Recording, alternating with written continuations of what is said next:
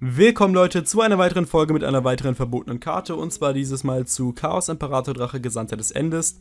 Die Maskottchenkarte der verbotenen Karten könnte man fast sagen, denn das ist eines der heftigsten Monster aller Zeiten und ja, der Effekt ist einfach nur krank. Aber sie wurde erratet vor einer Weile und die Frage ist, kann man die Karte wieder erlauben? Und das sehe ich sehr kritisch.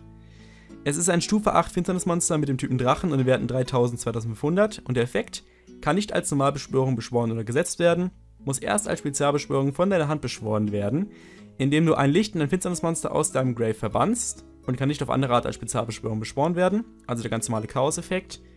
Während des Spielzugs, indem du diesen Effekt aktivierst, kannst du keine anderen Karteneffekte aktivieren. Okay. Einmal pro Spielzug. Du kannst 1000 Life Points zahlen.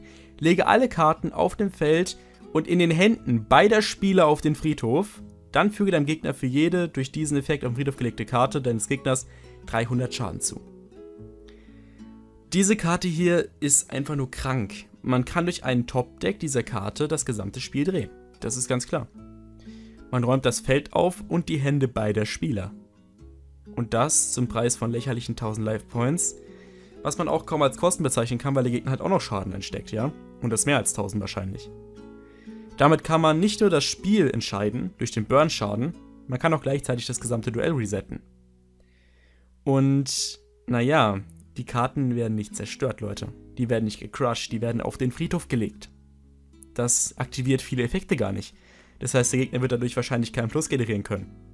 Klar, das ist auch nicht so angedacht bei Chaos Imperator Drache, aber es wäre vielleicht notwendig, denn eine Top-Deck-Karte, die einfach die gesamten Hände der Spieler resettet, und plus 6 gehen kann, plus 10 gehen kann theoretisch.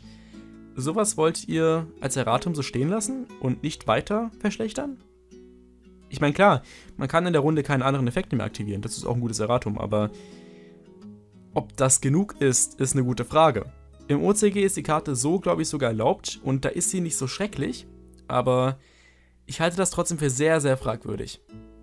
Mich würde da eure Meinung mal sehr interessieren aber so Sachen wie der Yata-Lock gehen halt einfach nicht mehr. Dass man einfach den Gegner Yatagara so gibt und dann, ja, den beschwört, nachdem man schon Chaos Imperator-Drache gemacht hat, damit der Gegner nichts mehr ziehen kann. Das habe ich im Yatagara so Video erklärt.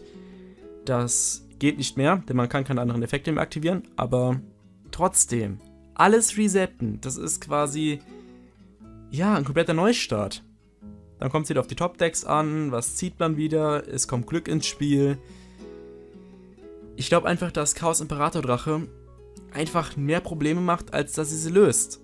Ich meine, was will man mit der Karte? Die Karte hat doch nur riesiges Trollpotenzial und würde Chaos in den Himmel pushen. Wenn die Karte so auf 1 wäre, okay. Chaos würde nicht ausrasten.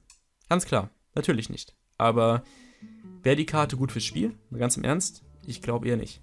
Und ich glaube auch nicht, dass das Erratum ausreicht, damit die Karte für immer, ja, so bleiben kann. Die Karte braucht später noch ein Erratum, wenn sie denn ganz von der Bandlist kommen soll. Und so kann man sie maximal auf 1 oder 2 setzen. Mehr nicht. Mehr geht einfach nicht. Es wäre sonst zu heftig. Und die Sache ist außerdem noch, wenn man diese Karte hier auf 1 setzt, dann müsste man die anderen Chaos-Monster wie den Dat oder auch den schwarz glänzenden Soldat, diese ganzen Monster, die man halt in diesen Chaos-Decks gut spielen kann, die limitiert sind, auf 2 setzen, weil die halt nicht so stark sind wie der Chaos-Imperator-Drache und ich weiß nicht, ob das alles so eine gute Idee ist, diese ganzen OP-Monster wieder hochzusetzen, die eigentlich auf 1 prima aufgehoben sind. Aber den Imperator-Drachen und die anderen Karten alle auf 1 zu lassen und da keinen Unterschied zu machen in der Limitierung, halte ich für sehr, sehr unverhältnismäßig.